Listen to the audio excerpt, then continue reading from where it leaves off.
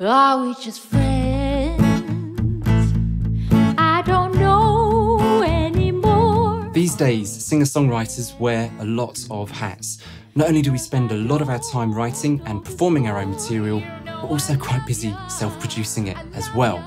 Now, if you're a self producing singer songwriter who struggles to find the right plugins for mixing acoustic music, stay tuned. This video's for you. I've put together a shortlist of essential singer-songwriter centric plugins to save you the pain of trawling the internet for mixing tools that can best serve you. This guide covers compressors, pitch correctors, effects, and more. Basically, all the essentials you need to produce great sounding acoustic music. But before we continue, don't forget to hit that subscribe button and ring that bell to stay up to date with future tips, tricks, and tutorials from wavesaudio.com. Are we just friends? Let's jump in. Starting with acoustic guitars, we've got these two plugins that we can use to get our guitar sounding more focused and detailed in a mix. We've got Maserati's ACG and CLA's Unplugged. Both provide controls for tone shaping and ambiances. Maserati's ACG is very good at making your guitar sound more focused, and with the effects section here, you can make your guitar sound more in a room. CLA's Unplugged provides a little bit more in terms of effects. We've got two channels of reverb, each with three different flavours, and an additional delay.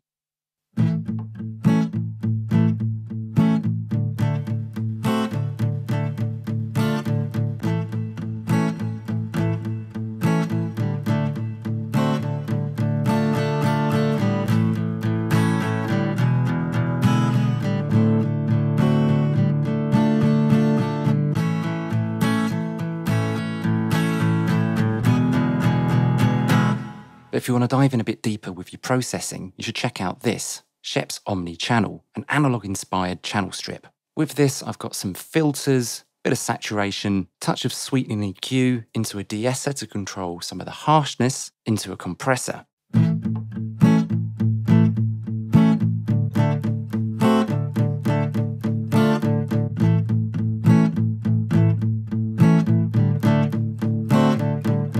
Now, Scheps hasn't got any reverb built in, unlike the other two plugins, but you can load in an additional Waves plugin. And I've got the Abbey Road plates here.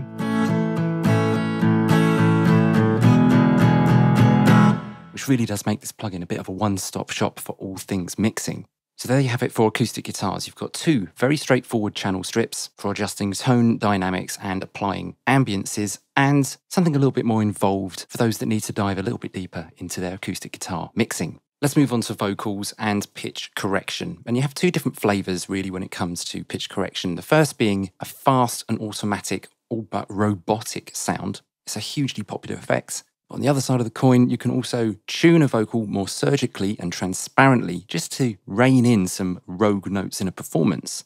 Now, Waves Tune Real Time lets us do that fast and fun tuning effect, especially if you have the speed and note transition set to its quickest position, along with the key of the song. It's going to sound like this. Are we just friends? Now, if you back these off slightly, you can have a more subtle effects. Are we just friends? Which is nice, but if you want truly transparent results, you're going to lean more towards using this, which displays pitch information here in the center matrix. Let's take a closer look. Now, in this performance, the first line, I love you, is a little bit sharp. Let's use Waves Tune to correct that. Let's take a listen first. You know I love ya. I love ya. So it's this line here. And what we can do is highlight those notes, use the note tool, and just put it down. We've got this G, and I need it to be an F sharp. It just ever so slightly overshoots. We can use this pencil tool now to correct that. Let's take another listen. you know I love ya. I love ya. Do the same over here to this F sharp, and we're done. So there you have it. There's two pitch correction tools. One that can be used, let's say, as more of an effect. The other as more of a tool to get your vocal sounding absolutely spot on. Now let's talk compressors. These two, Renaissance Vox and CLA 2A, are not only brilliant sounding compressors, but they're so easy to use because their attack and release times and ratio, all of that stuff is taken care of under the hood. All we have to worry about is how much compression we want to apply to our vocal. Now, the main difference between these two are in sound. So the CLA 2A is an analog emulation, It has a nice saturation to it if you push it too hard. The Renaissance Vox is a cleaner sounding compressor and has an additional gate, which is great for removing mouth artifacts between lines. Let's compare both of these compressors on the lead vocal and hear how they sound against the unprocessed vocal, which has quite a wide dynamic range in this section. Cause I don't know the score. You know I love ya. I love ya. Cause I don't the score. You know I love ya. I love ya. Cause I don't know the score. You know I love ya. I love ya.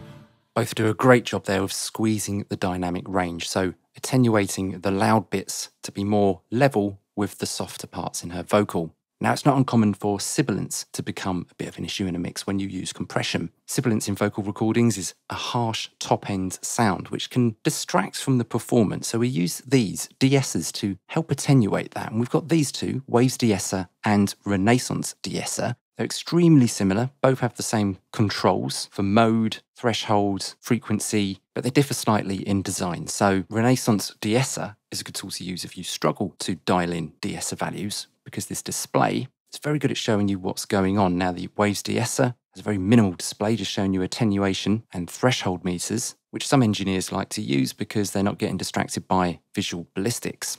Let's move on now to some all in one mixing solutions for mixing vocals really quickly. And we've got Greg Wells Voice Centric and CLA's vocals. With Voice Centric, we have this main central dial here, which does quite a lot of EQ and dynamics processing all in one twist of the dial, along with some lovely sounding delay, doubler for bringing out some width in a performance, and reverb, where over on the CLA vocals, we've got a little bit more on offer. Bass and treble controls, compressor, reverb delay, and pitch, again for adding a bit of stereo interest.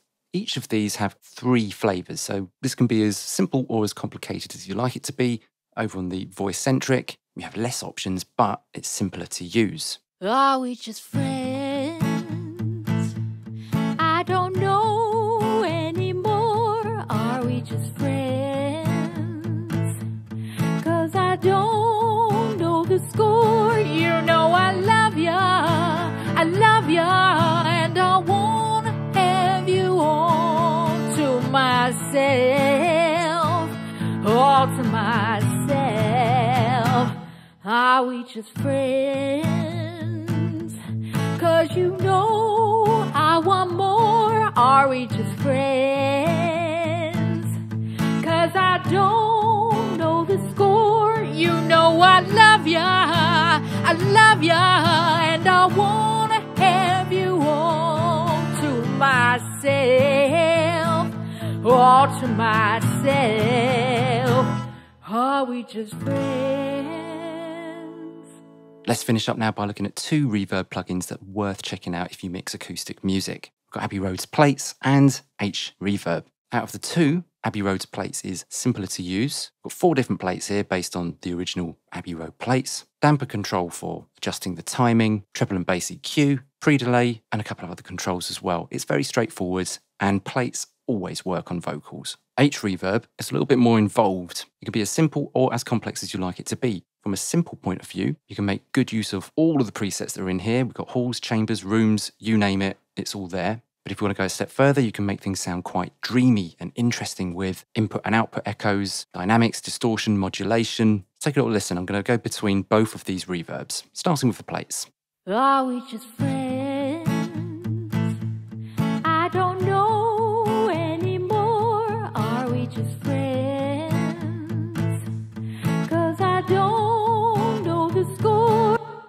Let's hear the H reverb, and I've dialed this in to sound quite dreamy. Are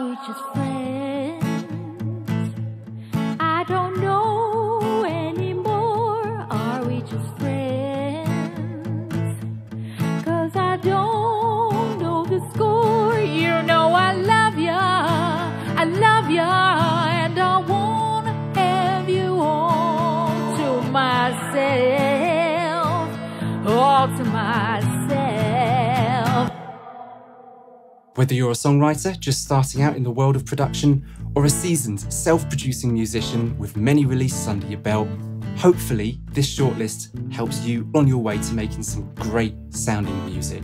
I hope you guys got something from this. As always, thanks for watching, and I'll see you again soon.